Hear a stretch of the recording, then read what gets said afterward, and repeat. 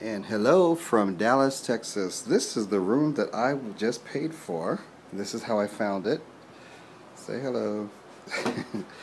this is the bathroom the way I found it.